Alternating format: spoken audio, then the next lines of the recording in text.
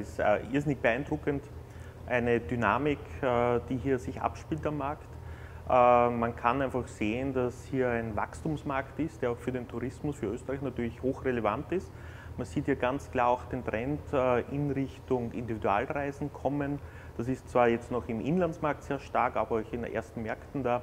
Das ist ein absolut interessanter Markt auch für Österreich, für die österreichische Hotellerie, um hier fokussiert äh, mit Produkten, mit konkreten Angeboten in Zukunft auch präsenter zu sein. Ich glaube, hier muss man sich auch sehr stark beschäftigen mit den Ökosystemen, über die chinesische Gäste buchen, kommunizieren dann auch erwarten, in Österreich äh, letztendlich bezahlen zu können.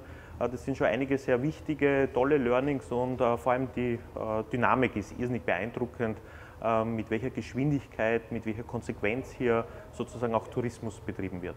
Für Hotels äh, ist es aus meiner Sicht äh, wichtig, sich sehr aktiv einmal mit dem Thema beschäftigen äh, zu beginnen.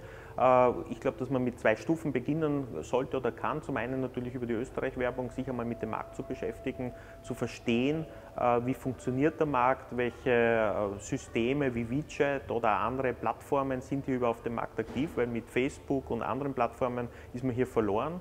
Äh, und auf der anderen Seite durchaus selbst Initiative zu zeigen und auch auf zum Beispiel der größten Plattform, die wir uns näher angeschaut haben, C-Trip, äh, sich genau anzuschauen, ist das für mich interessant, kann ich mit meinen Angeboten, mit meinen Content, mit meinen Inhalten dort buchbar sein äh, und letztendlich dort auch Kampagnen für mein Hotel, für mein Haus hier auch fahren.